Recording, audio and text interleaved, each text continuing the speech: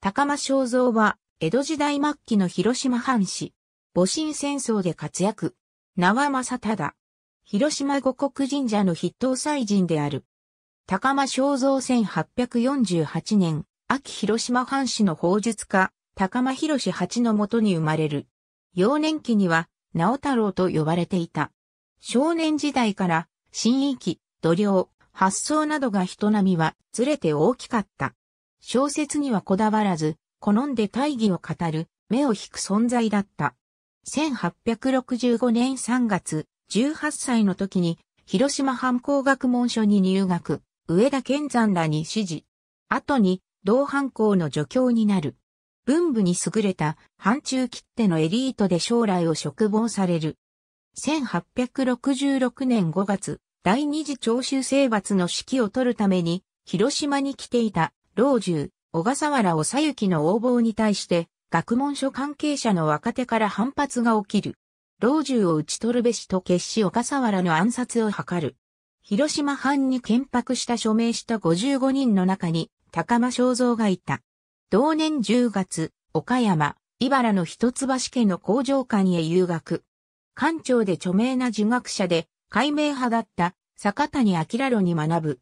1867年秋に薩長芸軍事同盟で広島藩に新規隊がシワに発足すると工場間の遊学を切り上げて規範し、自らの意思で入隊。父、高又守から奥流の法術を学ぶ。新規隊のシワ連兵所で農民出身の兵士たちと寄宿し、法術訓練を行う。1868年正月に京都で鳥羽伏見の戦争が起こる。広島藩には、備中、ビンゴに出動せよ、との町名が出る。高間正造は指揮官の一人として出動。2月に、木広。3月に、新規隊324人は、欧州に出兵を決議する。藩主の長居が下り、広島藩の豊安丸に便箋して、大阪に向かう。高間正造は法隊長として一体の兵を率いていた。新規隊は大阪から平安に入る。新政府から欧州応援の命令が下る。うるう4月、新機体は江戸に向かう。江戸では戦学寺などを宿舎とする。5月15日、新機体は上野将棋隊との戦いで高間正造たちは飛鳥山に陣取り、将棋隊の落ち武者たちを残覚する。5月末、新機体に甲府城応援の命令がある。向かう途中で新部軍の追悼を行う。そして甲府城を守る。江戸への木と敵方が所沢駅でたむろって略奪すると聞いて、高間正造は馬で馳せて、その巣窟に入り、里して降伏させ、武装解除をさせた。7月、新機隊は欧州への派遣を要請し、出兵が認められる。その後、新機隊は会津への最短の白川、会津ルートか35里もある相馬、仙台藩へ、ルートの選択で、奥羽越列藩同盟31藩の中軸である、仙台藩と戦う南高ルートを選んだ。7月23日から26日まで、広野駅で、鳥取藩と共に戦う。最初は、新機体と合わせると、約600人の兵であり、敵は数千の兵卒を相手に激戦。鳥取藩の法隊長も死すほど、大勢の死傷者が出た。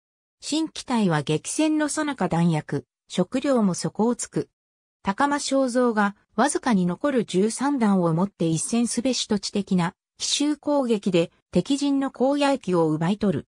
その後も新機体は連日の転戦で苦戦、前線を繰り返すが全滅寸前で長州、岩国藩兵が海上より端家で広野海岸に到着。7月28日は進みて富岡駅に入る。千代岡原の敵兵は丘陵に参加者の砲台を築いており、激しく弾丸が飛んできた。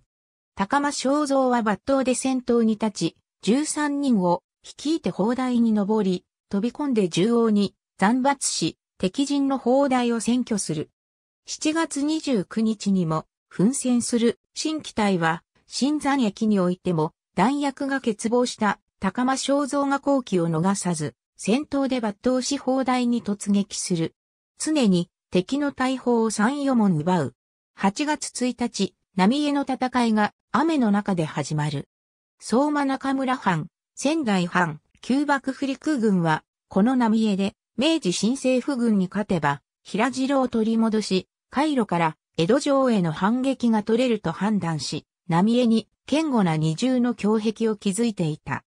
総力戦と位置づけて、小笠原元、板倉勝清、安藤信正、元老中という大物たちが参謀として、浪江の砦に結集し、双方が主力を尽くした戦いになった。前日、正蔵は父親に、広告の後輩は今日にありと手紙をしたためる。高間正蔵は、この波江の戦いで敵の砲台に一番乗りするが、正面から顔に銃弾を受けて即死。遺体は自傷院に埋葬される。